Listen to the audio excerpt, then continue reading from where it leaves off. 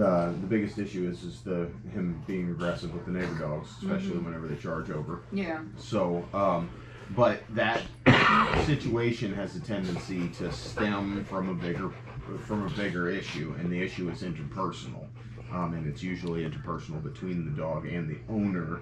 Whenever, um, whenever we have that protective instinct, and and, and it's easy to hyper focus on the event that happened, you know, mm-hmm. because you said that there was an attack. I mean, and, and, and that's not to be disregarded, you know, mm-hmm. like it's an important thing.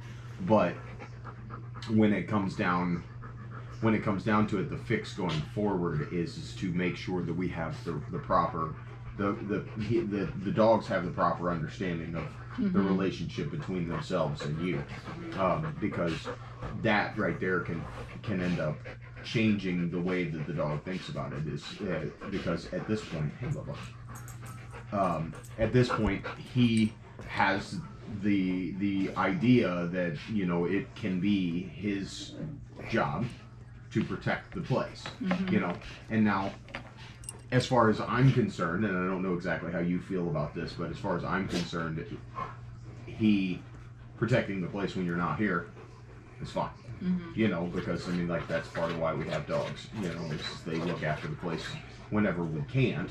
Right. Um, but in the in the instances that you are here and you're out with him and things of that nature, we don't want him to think that he that it's his job to protect you. That you that he needs to look to you for guidance 1st mm-hmm. before he goes into those situations. Right. And now, once we can achieve that, then we move forward by exposing him to more and more dogs until he can start to generalize that dogs in general are usually friendly. You know, like they're usually a good thing, and it's not something that we need to that we need to get all stirred up about every single time. So we, whenever we get the opportunity, we will take that. But so that's that's the idea. Is, is if we establish the hierarchy of uh, of um, you know position Right. the dogs understand that very clearly. It's not a it's not a difficult thing. This is like what a dog is always going to assume that whoever the strongest being is. Now, the strong doesn't necessarily have to do with physical strength. It has to do with the. Uh, it, it's more of an energy, a strength of energy. You know, and a strength of. Uh, in, in the fact that whenever I you know if I'm the if I'm the strong person if I decide that something is going to be done or something is not going to be done then I have the ability to call on whatever tools I have and enforce that my will is the one that goes forward. And that's a good thing. I mean, it sounds, you know, the language sometimes sounds a little bit uh, like we're trying to uh, trying to oppress or something like that, and that's by no means the case. It's just when that pit bull attacked him, Mhm. he didn't fight back. he didn't fight back. Hmm. Well, He was just trying to get away from her. right. Well, a lot of times that'll happen, but it, now he's now he's doing preventative work. Exactly. Is whenever somebody comes in, Right. he puts his his show on hmm right from the get go to try and keep them at a distance, and that generally comes from the insecurity of not knowing how this is going to turn out if it Mhm. gets bad. Right. Um, incidentally, the the confident dogs are usually the least aggressive. You know, because if you think about it, in this situation, what happened was is he was living a normal, confident life. I feel good about everything. Nothing is Mhm. pretty much a threat to me. I'm, you know, I'm a I'm a perfectly safe in all of my environment. And then all of a sudden, something comes in and disrupts that idea right. and so a lot of people want to uh, attribute uh, aggression to confidence that like the more confident dog is the more aggressive and that's absolutely 100% wrong it doesn't it doesn't work that way the dog that ends up having aggressive behavior is always the one that is the least confident and what they're trying to do is they're trying to keep the danger at a distance Mhm. you know whatever it is they're trying to keep their fear away um, so when dogs are in a pack, they always have they always have a, a, a structure. You know, as far as they have they have somebody who's in charge, at least one Right. who is in charge, and then the rest the rest of them have a tendency to be subordinate, and they do that, and they do that for a good reason. Is the the one that's in charge is generally the most competent of the group. I mean, whether it be physically, whether it be decisions, whether it be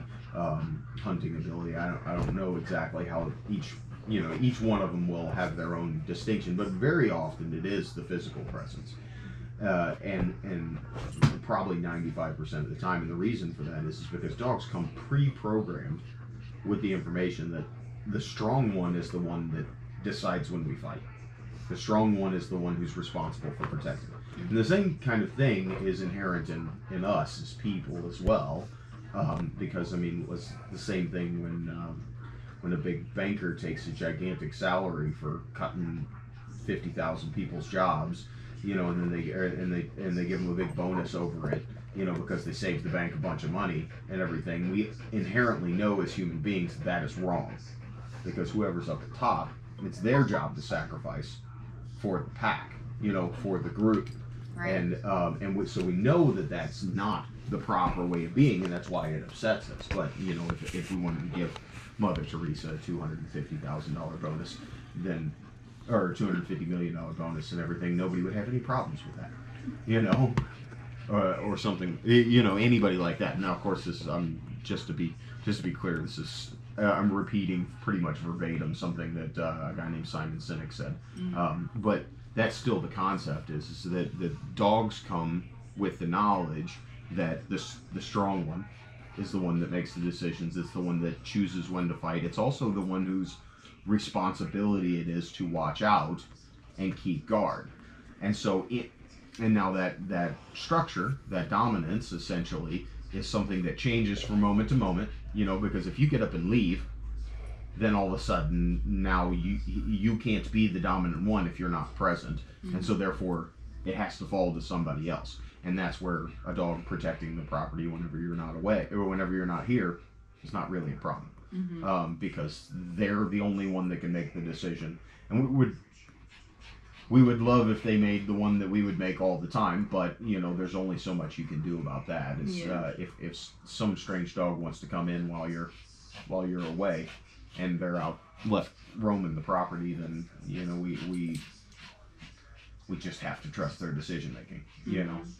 Um, so the idea is, is we want to achieve that position. And now dominance is not. Um, I mean, I know I carry around a, a big staff, you know, all the time, but dominance is not a matter of, uh, you know, like physical confrontation. It doesn't have to be that. I mean, like whenever we put on that particular collar, and we put on the leash, and you got to the point to where you can just barely hold the leash and move with him, and he moves just fine without any sort of resistance. He's not pulling on the leash. He's not doing any of that stuff.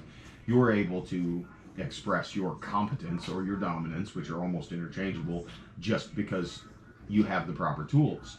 And he's willing to give in earlier than you are willing to give in by a good margin. And so that little conversation right there ends up being something that when you get to the point where you can say, hey, this is what I want to do, and then it happens each time, then you are the one in charge. And then those ability, those uh, responsibilities of protection get passed on to you. And so then it's your job to protect until you get to the point that you can't do it.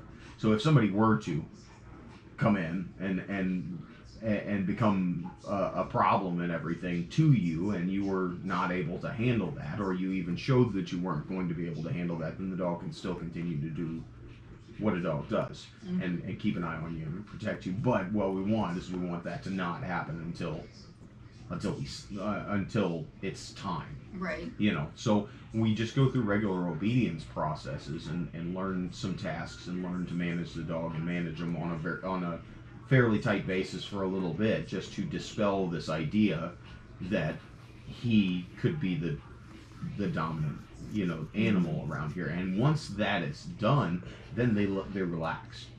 They let they let go of this need to protect and they drop it off uh, and then you don't end up having the same amount of you know the same amount of uh, risk towards aggressive behavior and so we just got to figure out how to do that which i can help you out with obviously. That's why i'm here. Um, so when we're talking about dogs we have three primary principles that we use in dog training.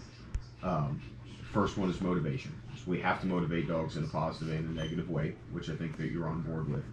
And we need to make sure that we understand what is positive and negative to this particular dog because there's i mean especially with like labrador type dogs um, some of them are just so happy-go-lucky all of the time that you can't hardly offend them.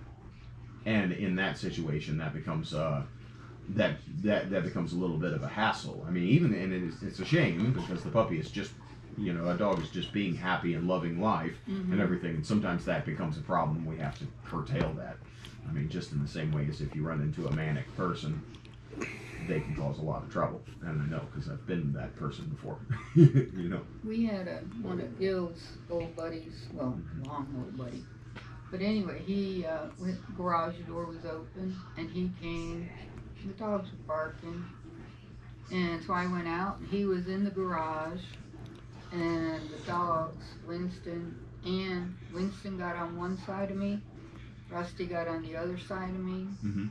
And they sat there and, and just kind of told that guy, we better not be hurting her right you know, and um, so then I told him, once I told him it was okay, then they went ahead and well was and that okay with them. that's great Yeah. like that's the kind that that's definitely the kind of that's the the check-in Mm-hmm. that we were talking about where Right. the dogs show up mm-hmm. and they show up they say hey here i am i'm you know i'm ready to i'm ready to be whatever it is you need me to be boss you know? Right. but they are acknowledging that you're the boss. Mhm. and so that's the kind of thing that we definitely want to to um, further. Um, so we want to make sure that we can tell the dogs what it is that we want them to do obviously um, with positive reinforcement. We also want to be able to tell the dogs what we don't want them to do with negative discouragement essentially and um, now that has to be particular to each dog because what this dog finds offensive is not necessarily going to be the same thing as what that dog finds offensive in that one. Um, I actually was coming in whenever they got through the gate. I went and you know and tried to use the stick to block the little one, and you can see that he gives a little bit of he, he gives a little bit of space to the stick, and he, he's willing to he's willing to, to give Mm-hmm. you know to give to the pressure. The little one had no idea of it. No. No, just like tried to push right through it and was just like, I this is an inconvenience that this thing is in my way, you know, and and just tried to push right on through. And, Yeah. and it's funny because the littlest dog was the you know in that situation the one showing the most pushiness, Yeah. you know, which isn't abnormal at all, but No, she it's just funny. thought you came to visit her. right. So, yeah. So, um, so what we just want to make sure that we understand that in order for a correction of any sort to be a correction, the dog actually has to find it corrected. It's not one of those things where I find it offensive and so therefore it is a correction. We don't get to make that judgment because we're not the one receiving it, um, and we're not the one that it is affecting as far as our, you know. Uh, it's not affecting our behavior; it's affecting the behavior of the dog, and so we need to be willing to go to wherever it is that we need to go. But that generally, we don't want to go too far either, you know, because there's problems on both ends. If you don't go, if you, if you don't give enough pressure to a dog, then the then the dog becomes emboldened and and tends to push through you. Mm-hmm. If you give too much pressure, then the dog mm, tends to have very bad attitude about it. Has you know ends up in, adding to their fear and uh, and also some perhaps some resentment. But although dogs don't carry a huge amount of resentment, they don't really have the equipment for it as much as we do. Some, but not not much. So, um, like my dog Cinch, his favorite game in the world is the, that we play, the one that's out in the cars. is I punch him in the face. Oh. And that sounds to the average person like a horrible thing, and how could that possibly ever be okay? Cinch finds it amazing, but he's a cattle dog that's bred to get kicked in the head by cattle and still want to Oh. keep working, and so it's not it's not a problem for him. And so we treat him as an individual, find out where his thresholds are, and apply those things. Because if, I mean, if it gets to the point that he does something wrong, give him the the similar little pop in the mouth like like we do and everything like that, then he's going to get really excited and think, oh well, if I do this behavior that I don't actually want, but if I do this behavior that dad dad apparently wants it because whenever he does, he plays with me, you know, because that's just how that dog plays, and so we need to we need to be uh, willing to accept that the same thing isn't doesn't affect each you know each being the same, each dog the same. Um, like whenever it comes to you know getting up and moving around, that little dog, like if I want to shoo them out of a space, that little dog is going to be very much less perturbed by the by me getting up and moving it. Whereas this one right here might have a little bit more of a problem with it because it takes a lot more energy for him to get up and move. So anyway, not to belabor that point. Same thing goes with the positive. Some dogs don't even like affection. Obviously, you don't have that issue with him. You know, Rusty likes his affection, and so when we have that, we want to use that as a tool. We also tend to use food as a training uh, implement to help them, encourage them in different things. Um, but we want to understand that there's a difference in application between the two. That food does a very different thing than affection. Um, so whenever you're using food as a reward, what food does is it activates your dopamine, which none of this stuff is super important, but to get the, the the background of it, the dopamine is the same thing that when you eat food makes you happy. You know, it's that it's that pleasure chemical that makes you want to go eat more. You know, eat more food. It's the same thing that um, alcoholics and addicts and stuff like that have whenever they use whatever substance they use. Is that it um, causes a pleasure chemical to make you want to go back and do it again. And it is responsible for addiction, so we actually can use that. But it was given to us in the very beginning so that we would continue to feed ourselves. Because if we stop eating, we actually get less hungry the longer it goes. After the first, you know, three, four, or probably five, six, seven, eight hours after that first initial period, once the hunger drops down, then it gets to the point where they um, your hunger actually drops over time, and that's how people are able to do long fasts and stuff like that.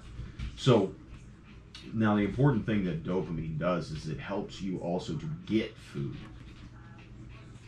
It teaches it teaches the brain how to recognize things that produce food. And so it helps them to remember actions. And that's the key takeaway from this whole thing. Is food will help a dog to remember an action. And the other benefit from it is food also helps them to feel more positive about certain things. So if I come into a situation and like say, um,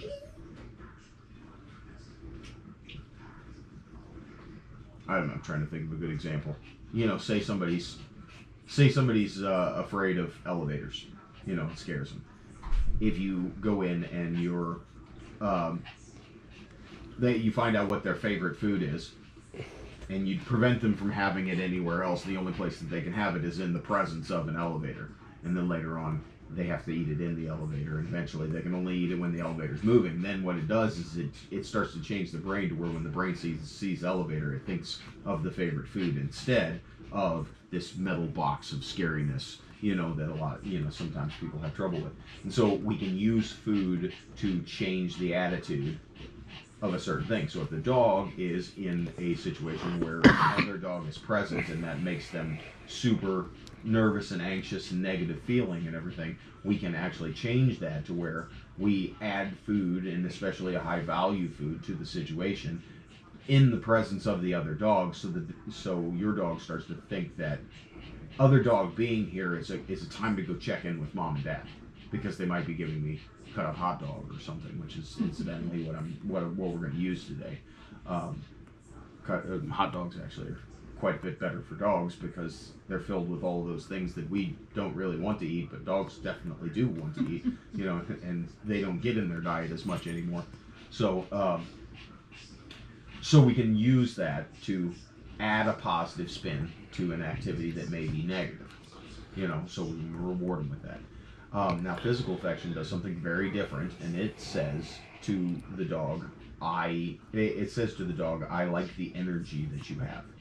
Whenever you pet a dog, especially if you pet it with the similar kind of energy, if you're happy about a nice, calm energy that you have, you know, and luckily you have some pretty calm dogs in general, and you're petting them with that calm energy, then number one, if you're the stronger being, they will seek to reach the energy that you have. They'll seek to become the same kind of energy. And so if you're calm, they'll try to become calm. If you ruffle them up and you're the strong, you know, like you're the dominant creature and everything, then they will get excited to your energy, you know. Um, eh, but it's it's often telling them that I like that I'm giving you affection with the energy that you have.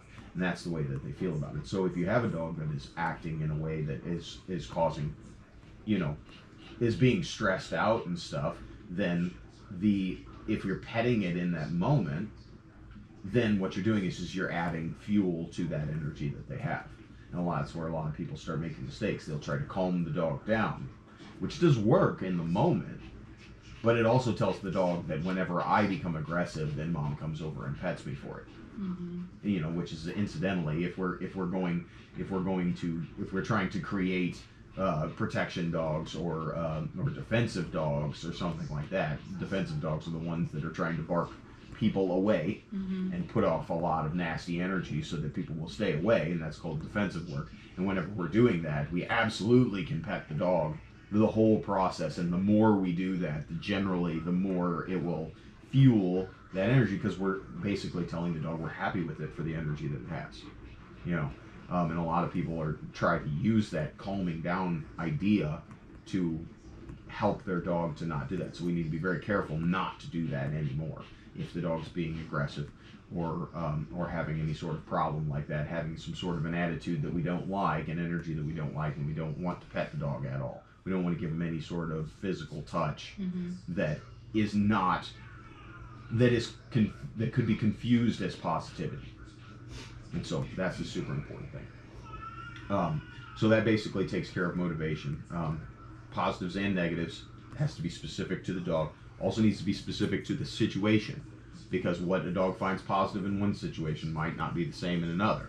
So the higher the energy, the more important the the more important the the treat needs to be in order to get the dog's attention. Mm-hmm. Also, the more the the more important the correction needs to be to get the dog's attention. So if you come to a dog, like I mean, if I came to a dog and I wanted them to give you some space, I can do this little situation right here, very gentle, and he gives space. And that's a that's a correction. I mean, like you call it correction. It's some sort of a dissuasion Mhm. and pushing him away. But if I use that same amount of energy and that same amount of pressure while he was trying to attack my dog Cinch outside, then it would not work at all. So when the situation becomes more intense, then the corrections generally need to become more intense in order to be effective. And um, same things, the rewards need to become higher in order to be valuable because uh, somebody, you know, somebody wants to give me a dollar, I'm going to take it every time, you know. But if they want to interrupt me and give me a dollar while I'm in the middle of a fist fight, I don't care. Just get away from me. I've got more important things to handle right now. You know, I mean, and that's the same kind of thing that we want to think about with the dog. So, after that, uh, we talk about the principle of timing. Dogs only have 1.3 seconds to associate cause and effect. So, if you are happy with the dog for something or you are displeased with the dog for something, they need to know what it is that you're happy or displeased about. So, they don't understand the words, at least not yet, you know, not until we make sure that we teach them. But they don't really understand time much at all. They live in a in, in very momentary uh, life. They live just moments at a time. And so if you end up getting upset or frustrated with the dog for something that they did a minute and a half ago, the dog's not going to figure it out. Mm-hmm. Very very likely not going to figure it out. They can after some time, after a lot of repetition when it happens a whole bunch, but it's not reliable. And so they're going to assume very strongly that whatever it is that you're happy about right now has to do with what's happening right now. And same thing with corrections. If they do if they do something if they do something a while back and you try to correct it for that, then they're going to assume that you're correcting it for whatever they're doing at that moment. So the dog gets in the trash can while you're away, you come home and the dog's laying on the couch, and you pull the dog off to off the couch to the trash can and say no no no or whatever, then the dog thinks that you were upset with him for being on the couch and you're using the trash can to punish him. Oh. Right. So when we have those confusions between us and our dog on what it is that we're feeling and what it is that we're um, trying to communicate to them, uh, then those then things get out of whack pretty quickly because the dog we, we assume that the dog can understand more than it can understand. Um, so if we know how to tell them what's good, we know how to tell them what's bad, you know what we want and what we don't want, and we know when to tell them so that they can actually understand it.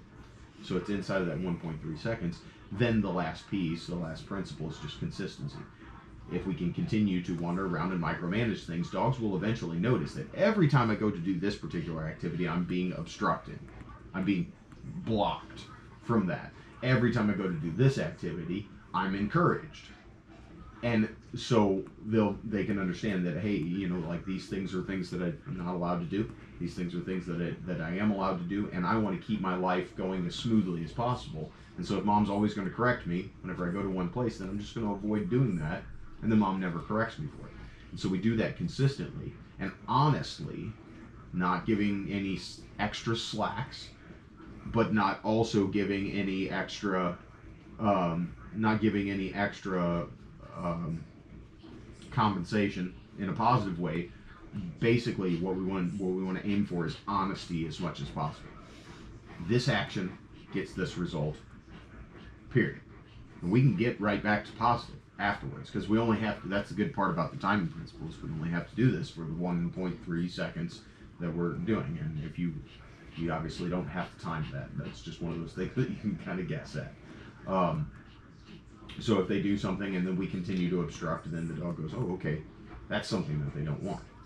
And so once we have those three principles down, plus a couple of body language things that we can continue to uh, use to encourage the dog, I, I think we, whenever we were doing the evaluation, we went over um, claiming a little bit, the claiming principle.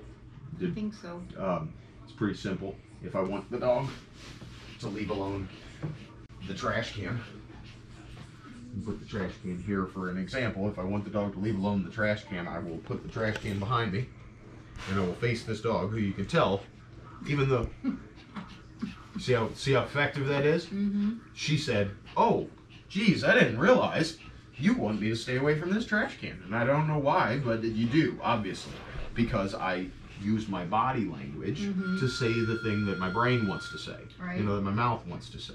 And dogs always do that, and they read it so much better than we do. And so whenever we just take a page out of their book and start communicating in the way that they communicate, they understand it just like that, and it works very quickly. Do you need to? That's his phone. Okay. He never answers it.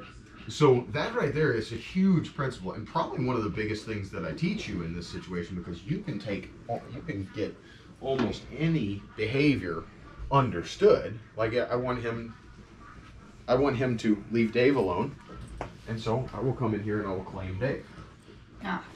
and I will focus on whoever it is, because you notice they're not moving away, Mhm. but he is, and the only difference is is where my eyes are pointing and where my shoulders are pointing, you know, because my shoulders are pretty point forward out, and he's just like, oh, I don't understand, but he obviously wants me to stay away from, you know, from that guy, and I don't, but just Yeah, as an example. right. But you see how I had I came in and went the extra mile to get into this space Mm-hmm. and be extra clear with it, and then he got it right away, and there was no confusion or anything like that. Now Mhm. you can do the same thing with an implement, is you can put the implement in between.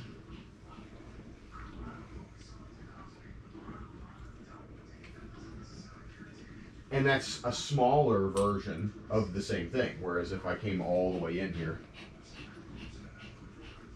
he becomes it becomes clear. He gives more space. Good boy. Where does it go? And we do that in a little short bursts, and we can just continue to communicate with our dogs on a regular basis. Now you add in the tools that we need to have security when the dog gets too excited, Mm-hmm. so that we can actually have some sort of restraint on the dog without having to give it positive physical affection and then we just start introducing it to the dogs and let the dog have let the dog make some decisions you know because even right now he wants to get back to you but he's very willing to not do that so that he doesn't have to be at the end of the collar because the collar is unpleasant in a, Mhm. to a degree but it's not so unpleasant that it, that it really is going to cause him any distress and so this allows us to stand very firm keep our energy nice and solid and calm even if he gets excited. So if he gets excited and runs to the end of the leash, all I have to do is just continue to hold on to the leash, and then he'll get the bad end of it. He'll get the negative reinforcement, and I can stand here calmly and show him that I didn't even have to be, I didn't even have to get excited to be able to stop him from that, and I can start to lead with my energy. The dominant animal is the one whose energy everybody goes to. You know, if um, you got a, you know, you got young, you know, younger, you got the grandkids or something like that that come over, and you guys have tend to have a very calm energy. You will, the, the kids will still have some energy, but you'll tend to find that their energy will be, excuse me. their energy will be less in your house than at the playground, because at the playground, everybody's trying to have high energy, but at your living room, you guys are trying to be very relaxed.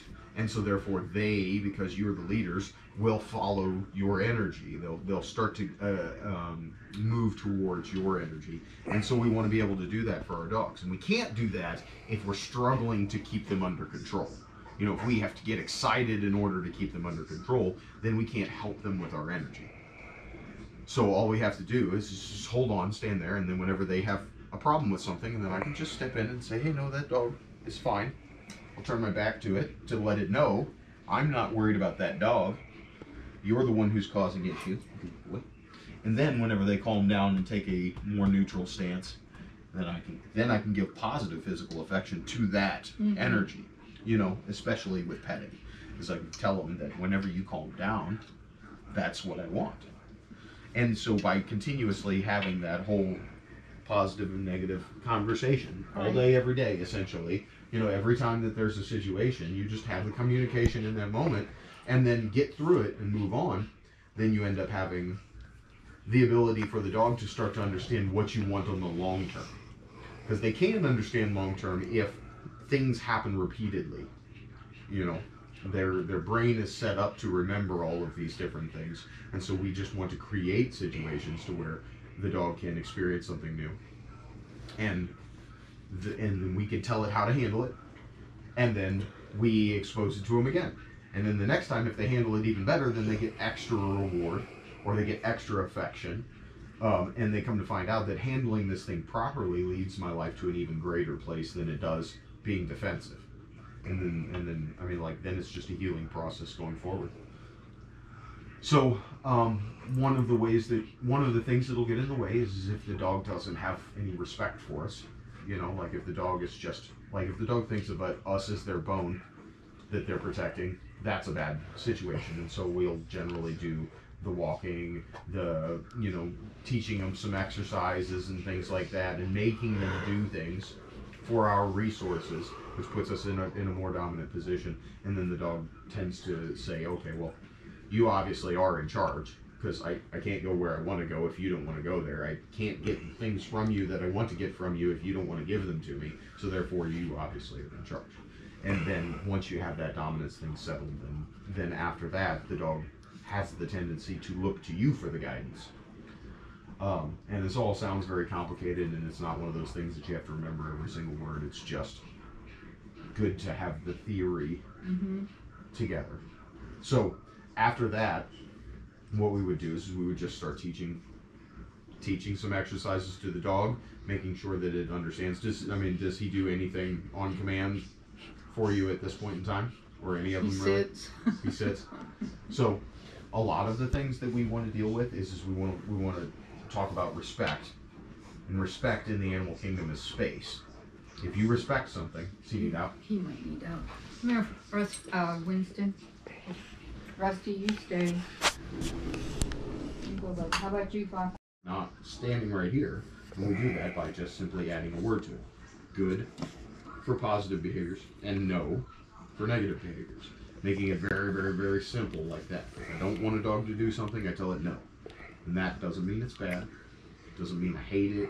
Doesn't mean it's insufficient as a being or that it, you know, it's worthless or any of those ne- negative connotations. Because I know that some people get really stirred up if you tell them no these days, and they think that it means so much more than it does. It just means that's not what I want right now. And so, if we start to be able to say no towards positive things, are the hot dogs in here? Or are they out in the car? Oh, I don't think I have them on me. I have some clothes. Well, I got some cut up for the for the lesson. Actually, I might run out real quick and grab them. But, like for instance, I can had, go get them. If we had, do you mind? No, that's but um, that's why I'm here, right? hey, that actually works pretty good. There you go. Cool.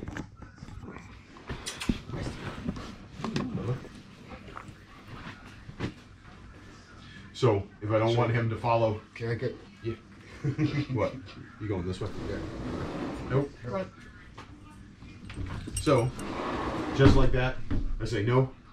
I give him some instruction, and I prevent him, and then by that, you know, measure, the dog will start to understand that when I say no, I'm going to prevent. And so, it gets later on to where whenever I say no, the dog understands that I'm about to prevent them, and they can start to prevent themselves, which is just obedience. You know, I mean, like that's exactly it. If if I want him to not mess with something, and I go nope, and I want him to not be focused on it, then I can do that. And, and as long as he quits the focus, then I then I relieve the pressure. You know, and tho- we do those things in good timing, so that they can understand. Um, but we, if we attach that negative marker to the word, then we get to the point where we just start talking to our dogs, and, and they and they understand, and that even goes as far as, you know, even whenever there's about to be a dog fight, you know, because I mean, Cinch is a is a great dog, and he's got a lot of training on him, but I mean, he's been in fights before. You know, he's been attacked before. I've taken him on all, all like most of my aggression, my dog aggressive situations and everything because I can trust him. Because if I do say no, by and large, you know, he understands what that means, and so he can he can understand that I don't. That's not what I want him to get into. He also understands that Dad will protect him if something goes poorly.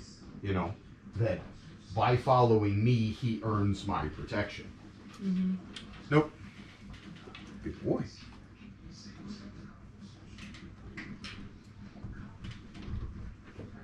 We ended up getting one of those bug spraying things too. Those things. Oh, they're nope. great. Hot diggity. Hot diggity.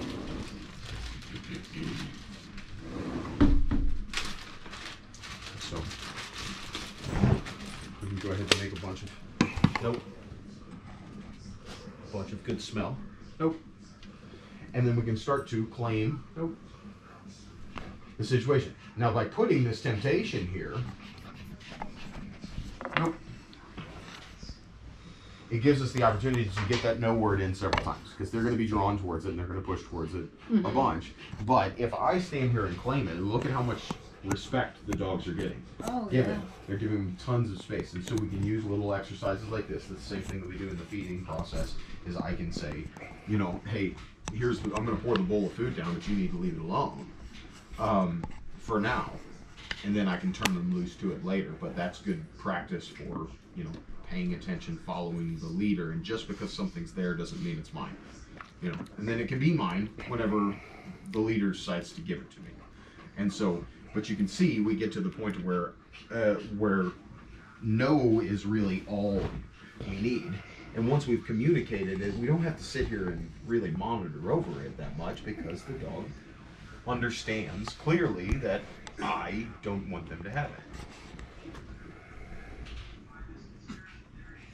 See, and it, and it doesn't take much No. it just takes good dog communication. You know, like communicating like a dog. Um, uh, Dave's learning Japanese right now, and if he wanted to come and give this exact same words to me, Uh, you know, exact same words to you and teach you all of these same things, but he did it in Japanese, it would be utterly ineffective. Mm. Yeah. See that? Yeah. That's how you say no. Yeah. Yeah. See, he he knows that he could get it, Mm-hmm. but he knows that it's mine now mm-hmm. because I've given it that nonverbal signal. Nope. And then then we attach the verbal signal to it, and he can, and then we can make that communication very easily. And that, surprisingly enough, becomes something that becomes so instinctual and so clear that. So instinctual and so clear that we can start to do it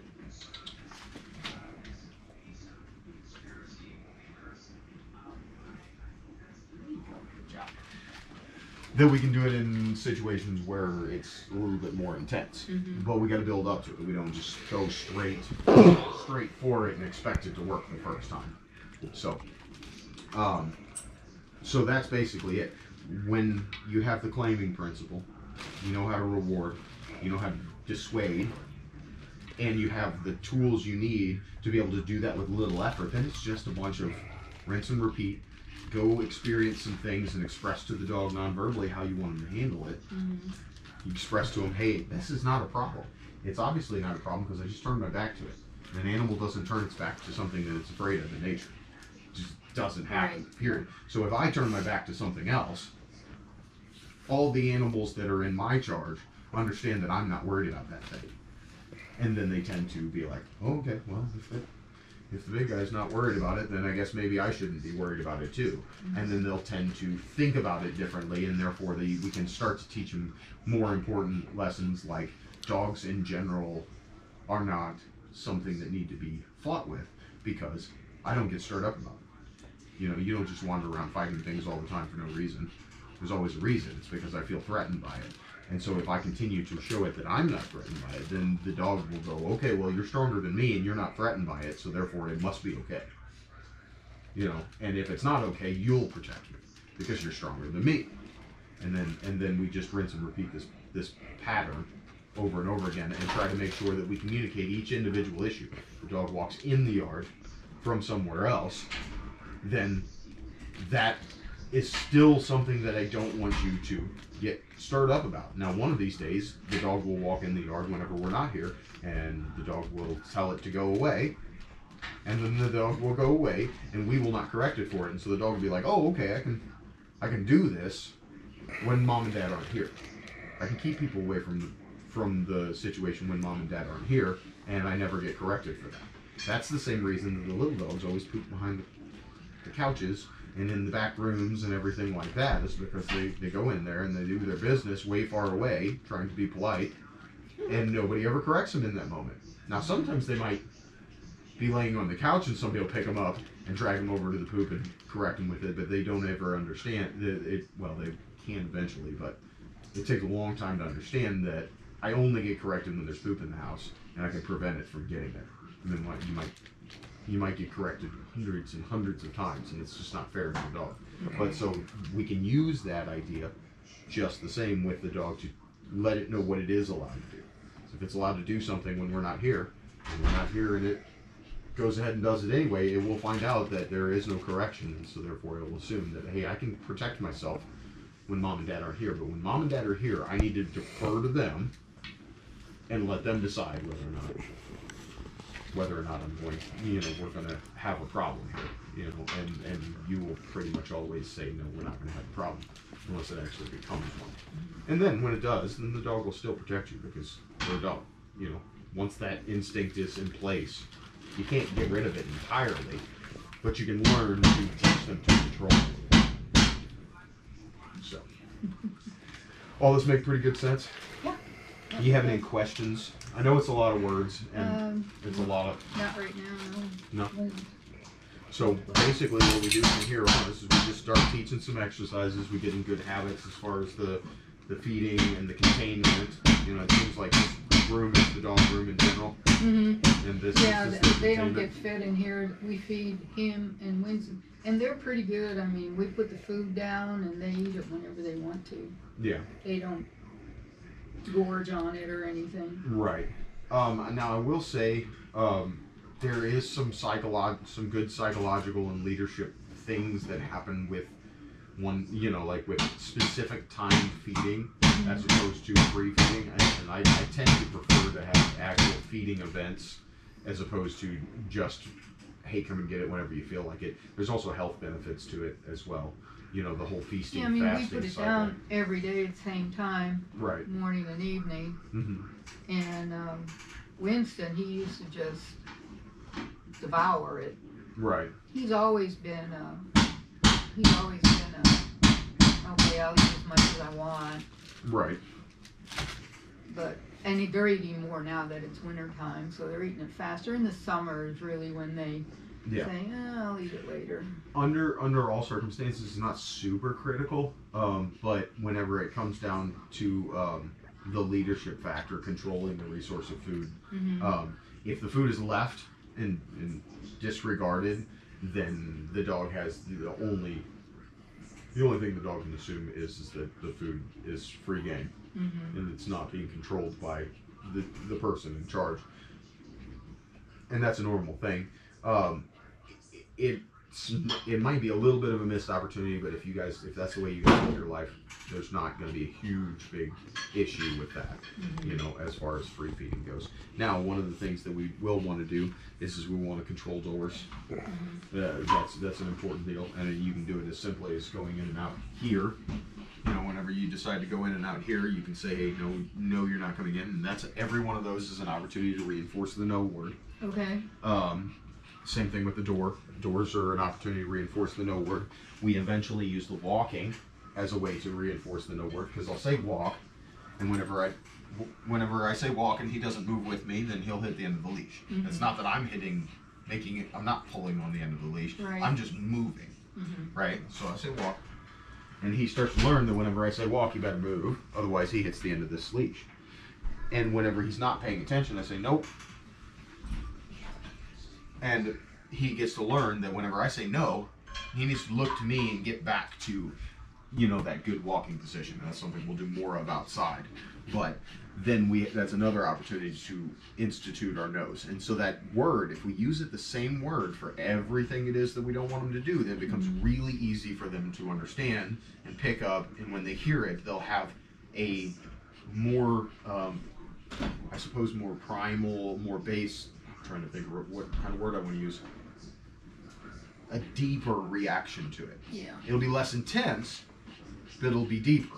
You know, because like if, if I'm like I'm using a whole bunch of words right now, and if I use words that people are generally less familiar with, um, then they don't have as much of an impact. Whereas where if I use words that people are familiar with, then it has more of an impact, um, and, and it's understood more fully. And so if we use the no all the time, then we get to un- the, the dog can understand a clearer version of what no actually means if we're mm-hmm. consistent. You know, so if everything that I just don't want them to do gets a no and some sort of a prevention, then the dog learns that whatever it is that I'm focused on in this moment, if they say no, I need to quit. I need to stop focusing on it. Or if I say no, they need to look back at me and check in with me to see what to, to figure out what it is I want them to do next.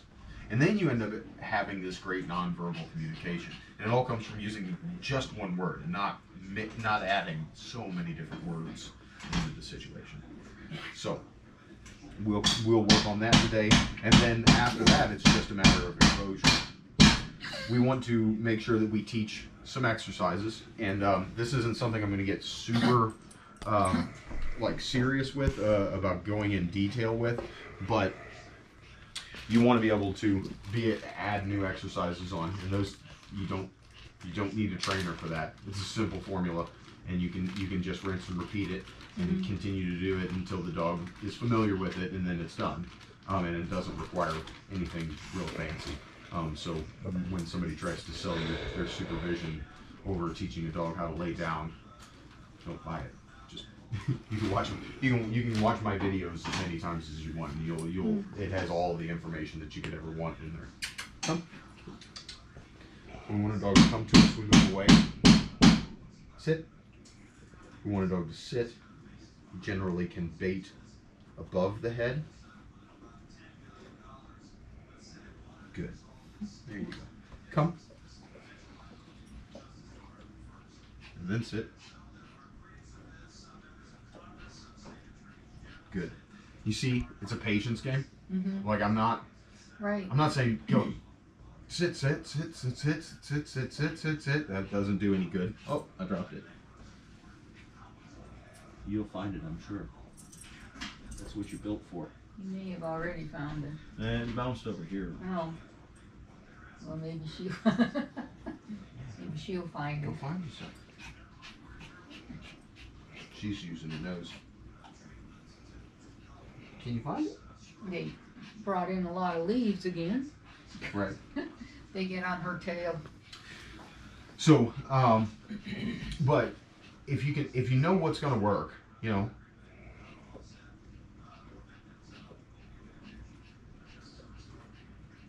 Good. See how I waited Mm-hmm. I let him think like, oh, I'm, I'm should I do this? Should I do that? And everything. And then he finally got the courage up and decided to put his butt down. Then, and whenever he did put his butt down, that that waiting, the the the, um, the pause Mhm. and the anticipation draws a different picture because I'm just waiting and waiting and waiting for you to do it right, and then as soon as the thing happens, then boom, you did it right. And so he learns that whenever he's holding a treat up above my head like this,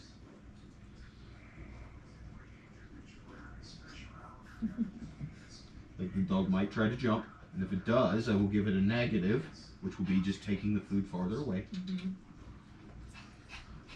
He sit. So normally she won't take food out of your hand. Sit. She never has. So up and back is usually the answer with food. Well, this is a hot dog though. No. Yeah. You sit. Good. There you go. So alright. even when she did it accidentally, I still give the reward. Right. That's that's the key whenever you're teaching exercises. Accidental successes are successes because once I give this food, it becomes dopamine, and dopamine helps them to remember the action. So even if they did it by accident, Mhm. I'm priming their brain to remember that action. Right. You know, because the bigger the piece of the bigger the dopamine hit in your brain, the longer back it'll cause you to remember. So um, if it's just a little tiny piece of something that just goes, hmm, that's good, you know, then it will only remember just a few seconds beforehand. So come, sit. Good. And then I use good timing, but as soon as the butt hits the ground, as soon as he's fully completed the thing, then I just say good, and then give him a treat. Now it's really important that whenever we're marking these things, that we're marking uh, behaviors. Rusty, good. So you see, whenever I said good, I was not already moving. Mhm. Because if I go good, that the the start of the chain of events that leads to him getting the treat is my motion. And so everything else, all of the different sounds that are out there, that is the those are all background noises. Dogs learn nose, eyes, ears in that order. So if the eyes have taken over, the ears don't matter. So what I need to do is, is I need to address the ears first. And so I'll say good, then move. Because when I say good, it addresses the ears, which is the hardest for them. And then whenever I move, it addresses the eyes. And then the nose is always going no matter what, you know, because, well, actually, that's not true. Uh, the, the nose isn't always going because the nose will shut off at some points when the dogs get too stressed. And they will only use their eyes because that's a survival mechanism. So, but we don't worry about the nose um, at this point. The nose is something that's so complicated that all we need to know is whether or not they're using it or not. And if they're not using it, something's wrong. So, uh, so if you want to teach an exercise like it down, just get some more fuel, get some more uh, ammo here. Nope, Foxy, you don't good need boy. this. So, do you see how that happened? He was nosing in on the treats. I Oh. said no. I made a little snap, which the snap was the correction, incidentally enough. I said no, and then I did something sharp, startled him. And that's enough correction sometimes for a dog. It's like it doesn't really have to be like I'm punching dogs in the face or anything mm-hmm. like that. Like if they're biting me in the leg, then sure I will, you know, because I'm not an idiot and I need my leg. But whenever it comes down to it, is we want to use the minimal necessary force. Now, if the snap hadn't worked, then I would need to continue to become stronger and stronger with my correction. But you do whatever works, and as soon as it works, then you've won and you give up. You ain't you ain't mad. Like if you have a dog that runs away and you try a whole bunch of different things to get it to come back, and it takes a half hour to get the dog to come back. Whenever it comes back to you, you can't be mad at it anymore because the dog is doing what you want what you want now. And they live in that moment, so they're thinking, "Oh, I've come to them, and now they're angry with me, so Oh, I'm not going to yeah. come to them next time." So, anyway, that's just a little side note. So, if I want to get him to lay down, I tend to hold my treats in a very specific way. I use my hand as a shield Mm-hmm. because whenever that happens, I can steer the dog in all these different directions, and I can also prevent. You know, if I got a dog that jumps, that lunges at treats and Mm-hmm. everything, a lot of times this is what it'll do because they won't bite my hand. They just want the treat that's in my hand. And they're Mhm. not going to go through my hand to get the treat. And I like that. If you have that problem, you you you're not trying to give dog tre- dogs treats at that point. You know, you've already called the trainer and or the vet, one of the two, because that's just too much Right. you know, and I, I don't I hope they call it the trainer. So whenever I want to do the down, what I can do is, is I can take my hand and get them right here, and then I can put good. I can put my hand upside down like that, Mhm. to where in order for them to get their nose to it, they have to go down further, Oh, gotcha. and yeah. then they can put. You sit. Sit. Sometimes you got to be a little bit more deliberate with a dog that's hesitant, like her. Sit. Good. There you go. Here's a big piece. You want to lay down? Now, some dogs are not as driven towards food, so food works less. Mhm. Down. Do you see how I'm, by me getting lower, I'm causing her to have to get all the way up underneath. It's a little closer to the front of my hand, so I might use that down. And then just wait. Now, if she doesn't down, I'm not going to give her the treat. Okay. Like some people will do that and they'll just be Mhm. like, "Oh, you tried." No, it's one to one ratio. When you do it right, you get a reward. If you don't do it right, you don't get a reward. Mhm. If you do something wrong, you get the correction. Down.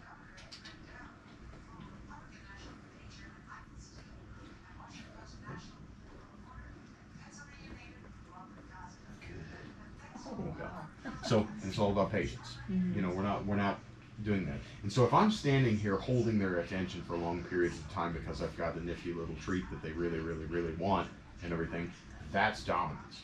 And that's where having a bowl of cookies or whatever it is still puts you in the dominant position even if you're not being physical in nature and aggressive in nature with the dog. But if it gets to the point where the food doesn't matter to them, then chances are you're catering to them too much. You, they've got too much food. So down. Good. So we, we're really careful that we say good, then move. That's hugely important. Seems like the tiniest detail. Mhm. Really, really important. Okay. So what's this one's name? Foxy. Foxy uh, in wrestling. So Foxy, good. So what I can do is, is I, I can start a real simple game where I tell I say the dog's name, the dog looks at me, and therefore it wins because that's all I want. If I say a name, I want a dog to look at me, Mhm. right? So if it, and now if they continue to look at me, I get to continue to reward them because generally, if I say the dog's name, I want them to maintain some contact with me. So good. And then that gives me the opportunity to sit here and be good. I'm gonna get little big pieces for you because you're a little bit. Good. And I can practice saying then moving. Mhm. And that's uh, because if you start moving before you say, the word becomes just background noise, just like the birds chirping or the TV Uh-huh. going or any of these other things that are happening while life happens, and they don't have to be, they don't have to be part of the process. So whenever we're dealing with that sort of thing, good. And you can break pieces down into the tiniest little bits Oh yeah. because I mean, first of all, we don't want the bellies to get full to the point where they don't care, and they get just as much dopamine from this tiny little piece as they do from this little medium-sized piece, as they do from the bigger piece, as they do from an entire hot dog. Oh, okay. It, it doesn't change much at all. I mean, it changed a little bit, but nothing that's useful. You know, so we might as well give them the smallest amount that activates their dopamine, Mhm. so that they can, so so that we can do it multiple times because it's more it's more important to do repetition. So good. And so you can see at this point I have plenty of command over the dogs just simply because I control resources. Just like the CEO of the company when he walks into the party, Mhm. everybody shuts up all of a sudden. You know, even though they've been having a good time, they're not stopping, you know, like nothing it didn't stop them from having a good time, but he walks in and he wants to stand still in the middle of the room. Everybody will come to his energy because he's the one that controls all the resources, which happens to be the work Right. you know, or the money. So, anyway, these things are all the, the the way we look at it makes a big difference. And so, if I have resources that they want to continue to get, and we go to a place where they have the stimulations that they want to avoid, I can use the resource to bring them to, and then use it to help them to be more positive while sitting in the presence of this thing that makes them anxious. And eventually, if you can sit in the presence of something that makes you anxious, it'll stop making you anxious because your body can't continue to be very highly stressed for huge long periods of time. and especially if the stimulation doesn't continue to reoffend. Mhm. So that's the idea. So, so what we want to do is just put him in the position where he gets to be around other dogs regularly, and now it can be a distance. It Doesn't have to be directly in their space, although we want to continue to move towards that. Um, then and and we just want to be able to prevent the very bad thing from happening without us addressing it and making it better. You know, so if I if we were dealing with a new dog and he has like the other day when Cinch was here and he has a, a reaction to it, you saw that I gave him upward pressure. We stopped the situation. I chased the other dog off, which tells him that I'm protecting him. Mhm. This is good news. You know, like this is a good thing. And so I stopped him and I told the other dog that they need to bugger off and you know stop messing with my dog. Mhm. And th- and then we become calm again. Then you know that that is actually a good interaction. It's not that we want to prevent him from ever getting to the state of anger. We want to teach him what to do whenever he gets into that state of anger. Mhm. And the answer will be if you act aggressive, things will get worse for you. If you stay calm, if you handle your anger internally and stay calm, then things will get better for you and you will actually get rewards. And then we can add positivity to the situation. And so it's just a bunch of little micro discussions. And then we just do it again.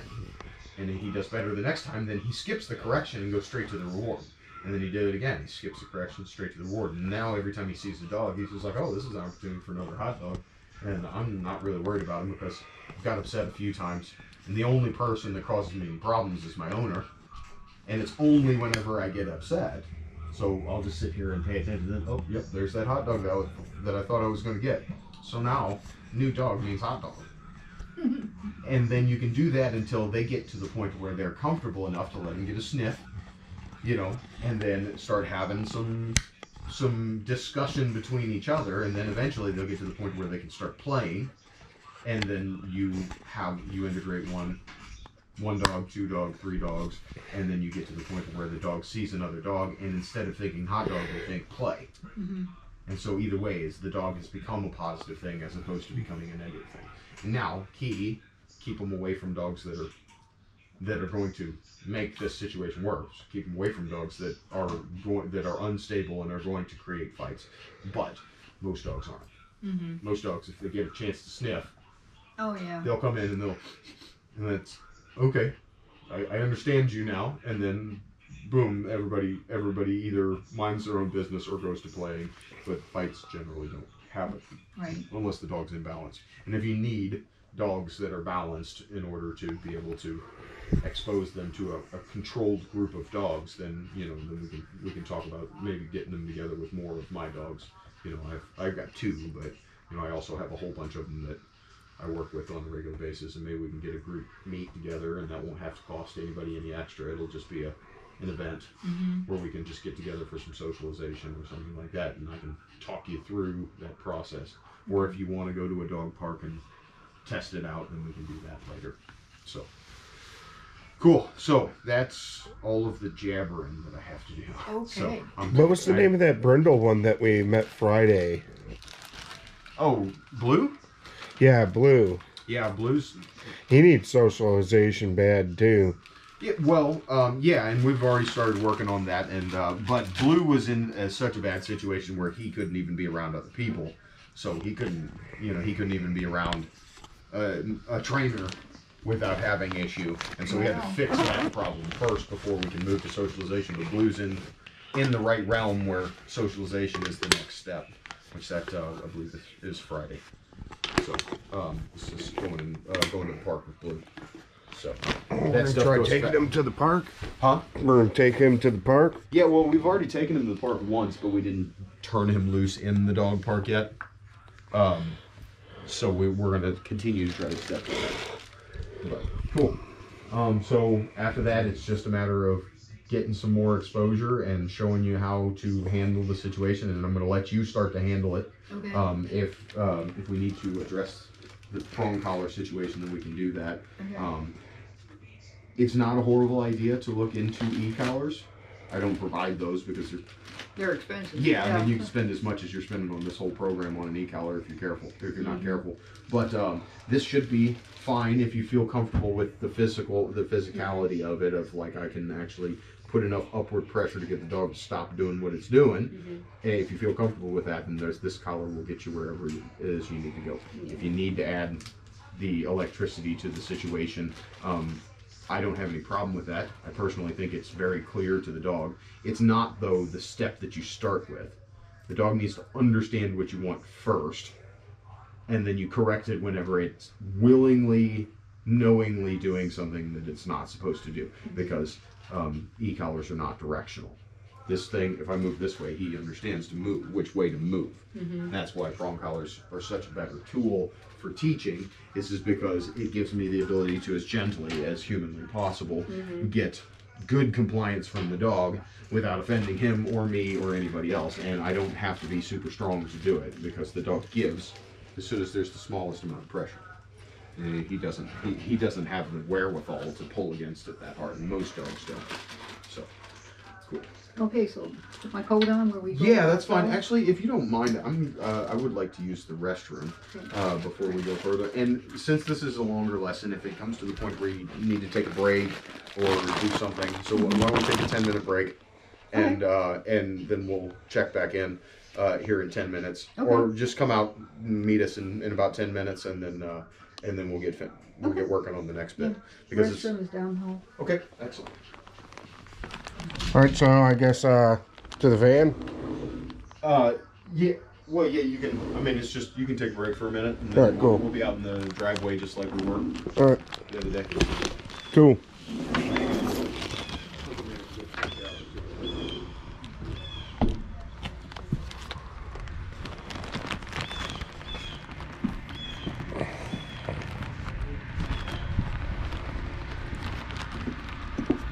The staff of authority plus two. But uh, so walking is one of the most important things when it comes to the psychology of the dog and, and who's in charge, because um, dogs. So Cinch, who has had thousands of hours worth of dog training on him is just now getting to the point to where he can understand that he can be out front and I'm still leading. And that's after thousands of hours, essentially. Um, and so it's not an easy concept for dogs to understand. Can they? Yes, they can, but it's not something that they get.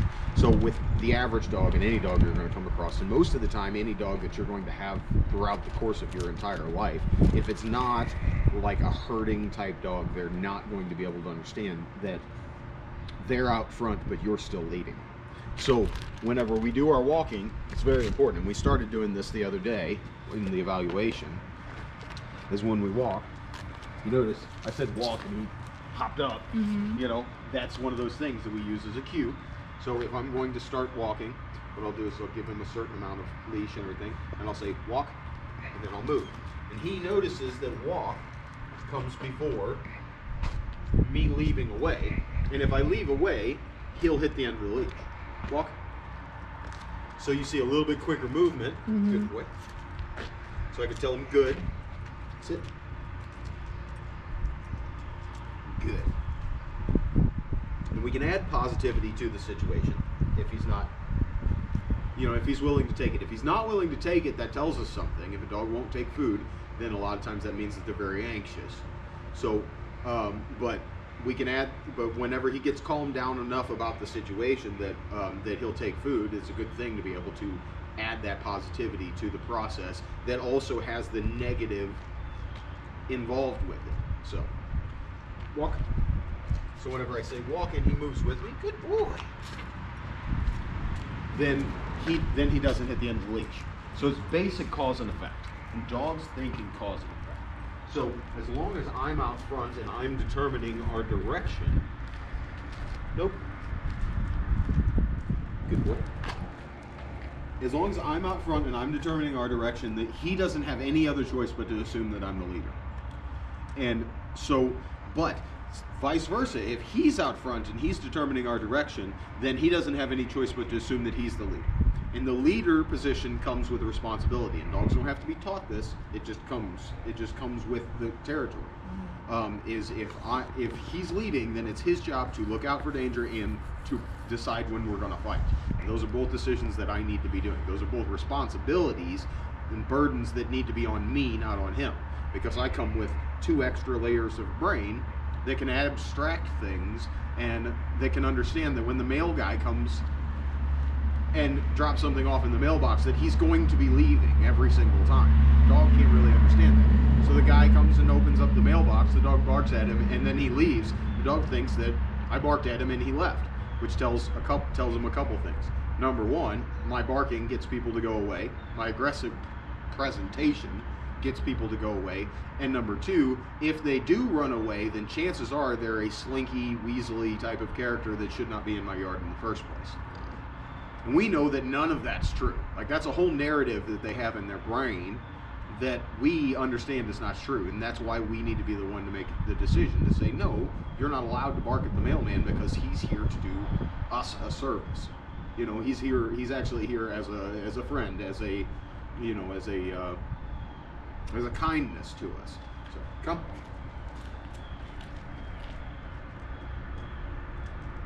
Good. So we want to have that position. So when I say walk, good boy. What a good dog. Hey. I want him to understand that when I say walk, I'm moving. It's not, I'm not saying it to ask you if you're coming along. I'm not negotiating with you. I'm not saying, hey, if you'll if you'll move with me, then we'll move. Because that puts him in charge. He's determining the direction, the speed, and all that stuff. Mm-hmm. When I say walk, I'm leaving. Walk. And it's a kindness to him to let him know that he'll he'll hit the end of the, the leash if he doesn't move with. So good boy. Walk. And then through repetition, he finds out that every time I move with this guy, I get hot dogs. Everything turns out great, and I don't hit the end of the leash. Nope.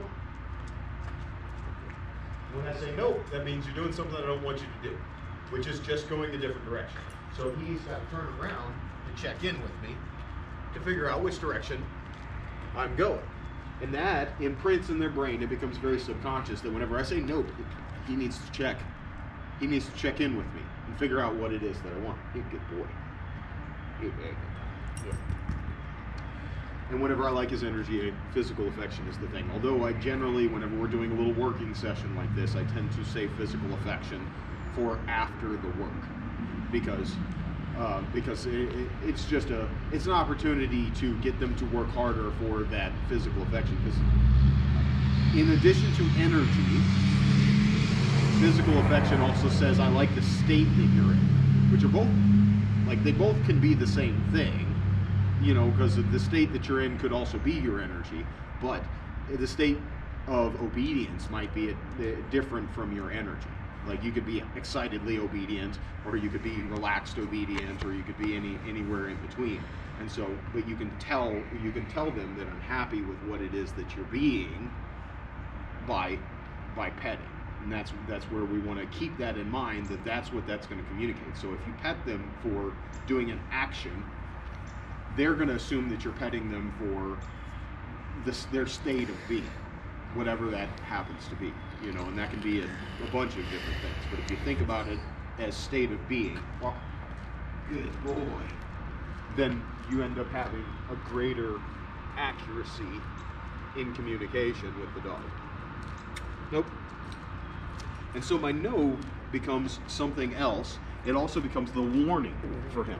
It's like, I'm not correcting him. Nope. I'm not correcting him. He's correcting himself. Nope. And if I say nope and he fixes it, then he doesn't get the correction. And so it's not that I'm yanking on the collar mm-hmm. or anything, it's, and I'm not necessarily being the disciplinarian. I'm just putting him in scenarios and giving him guidance as to how to get through them the best way possible. And so therefore that changes the context of, you know, I become so strong that I don't even have to discipline the dog. I can just warn them and then let life happen and then they'll end up figuring it out. And that's a good position to be in because if the dog think the the more the dog thinks you are, the better it's going to listen to you and the better that you can serve it by keeping it out of trouble and teaching it how to deal with different situations. But if the dog doesn't trust you and doesn't think that you're way up here, then it might not feel that it's it's a good idea still to expose itself to a danger, what it perceives as a danger, without you know without defending itself, you know because it's like okay well, it's like it was the whole example of stopping a fight to to get a dollar bill. It's not going to happen because the dollar bill is great, everything. Now if somebody says I'll give you ten thousand dollars to stop fighting, I'll stop fighting right away. Sure, it's like whatever this guy did that has got me fighting him. I'm not, I'm not ten thousand dollars concerned with it. You know, I mean, unless it's worse than that, and then the price goes up. But so that's the that's the same thing. Is, is we want to have enough authority over the situation for the dog to go. It doesn't matter what's happening around. I need to pay attention to my owner because they're the ultimate. You know. So walk. And it, you end up having a good time with you know these dogs that are kind of lazy you know because he's he's a little bit lazy. And so you don't end up having to work too hard to get them to put themselves out of their comfort zone. Mhm. when their comfort zone is that specific. Sit. Good.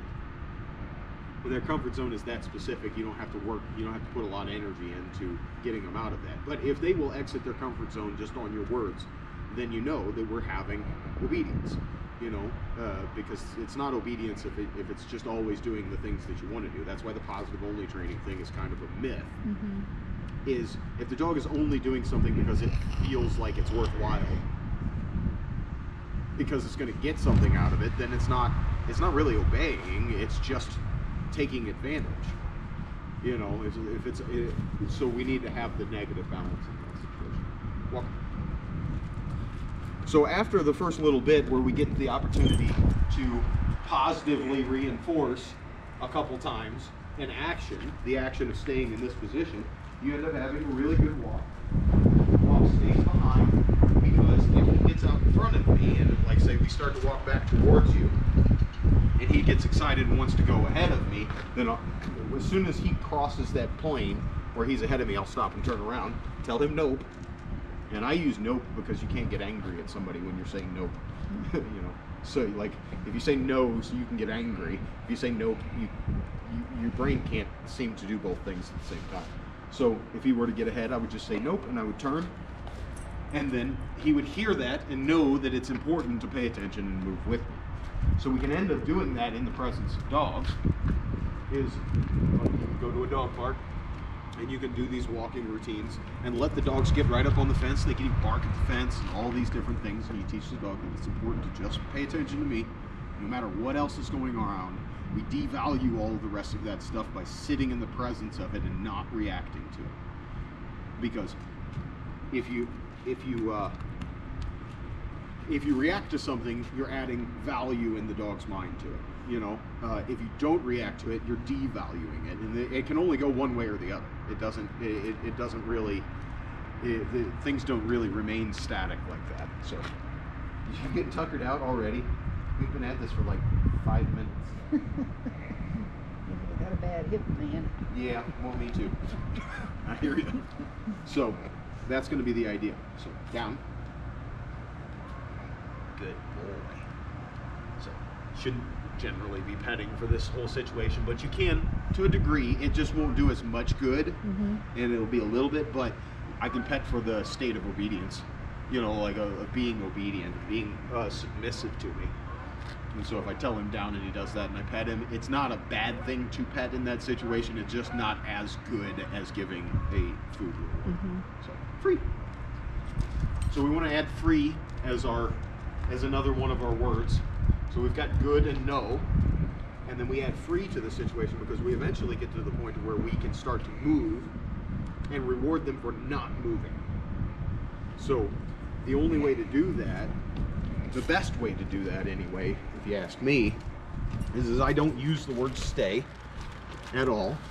Um, what I do is I actually just give the command that I was going to give, and then I reward them for not getting up. So they automatically, their default answer is right, you know. And then I just have to get them into the situation to where they will make a mistake once or twice, and I say, no, that's not it. You don't get your reward this time. And then I put you back down, and then I start to move away again. Oh, man. Uh-oh. Yeah, this is not. Do we want to do another day, maybe? You know what? It wouldn't be the worst thing in the world to um, just get a little bit of exposure to the dog again, and then come back another day. okay. Um, and, and we can just call it. We can call this a half lesson, and then come back again. I'm I'm okay with that Okay. if you want.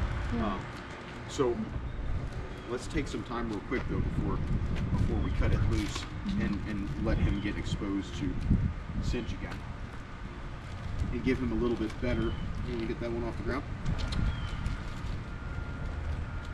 I also like to use a little command for finding food on the ground. You know, if he doesn't realize there's food there, I'll say find it, and then I'll just point at something. I'll show him to food, and then eventually he'll get the understanding that if there's something on the ground that I want him to pick up, that I don't actually have to bend down and point it to it. I just say find it. He'll be like, oh shoot, there's food. I know what that word means. So anytime we want to teach a word to a dog, we say the word first, and then we show them what it means. Then they'll start to pick that up. So, Okay. just same thing. Uh, Rusty. Good. That's that's task number one. You can work on that in the meantime. You just say the name. He looks at you. You say good, and then reward. Because if you can get your dog to stop and look at you in the presence of any sort of distraction, Mm-hmm. and that becomes priority, then they get to, then, then it's very easy to get most situations in in line quickly. You just say Rusty. Good. And so Rusty also doesn't become a negative thing. Nope, nope, nope. So again, I can I can use the claiming principle just like I did right there. Mm-hmm. And even though it is a bunch of hot dogs, nope. You can also use the leash if you need to. Even though it's a bunch of hot dogs, he can't have them until I use the F R E E word. And that's going to be the word that I use to say that you can go ahead and do the thing that you were trying to do now. So that gives me the ability to start to work on stay work mm-hmm. without him knowing anything about it. Is that I just install this word called free. Free happens when we go through doors. Free happens whenever I release the food to you. And he's being a very good boy. Free. Good boy. And so he starts to realize that free means I can go ahead and do the thing that I want him to do. And so what we do is, is we withhold that word in the presence of things that he wants, tell him to do a sit or a down or whatever it is, and he only gets rewarded for staying wherever he's at until we say free, and then he can go get his reward. You know, and and that's that's the that's the key right there. So me uh, see if I can unleash the other beast. Hopefully he'll behave a little better. I don't think I- Did you leave the keys in there? I think my keys are in the car.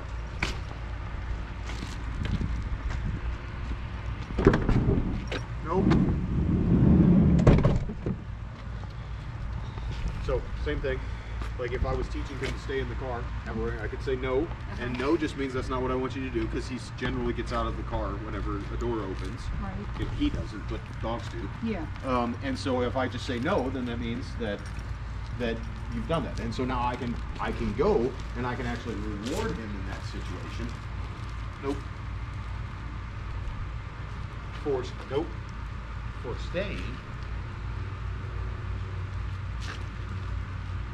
And uh, and then that is how I communicate to the dog that if, if you pay attention to what I'm asking you to do and you don't do the things that I'm telling you not to do, then you will get rewarded for that as well.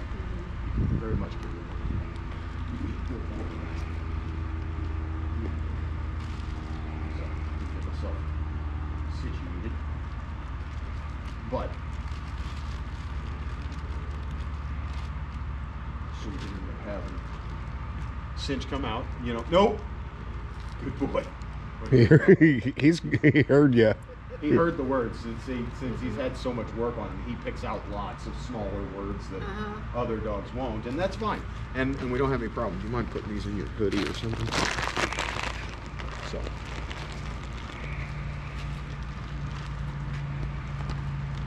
Come. Down. Down. So if he takes the position behind me, he's giving up to my authority, He's saying that I'm that that fine. I'll I'll do you know I'll let you take the lead, which means that you get to decide when we fight, right? And so um, so that way we get the opportunity to move around the dog. Nope.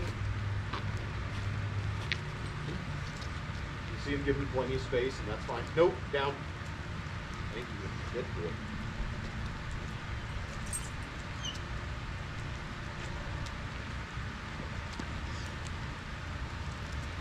Down.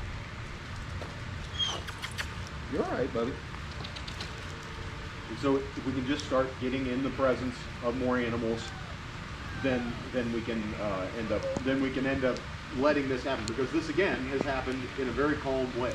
Now we're going to need to stretch it out and make it more difficult for him by coming in from a different direction. Cinch, go to bed. All right. Yep. I say that calls it. I think they called it.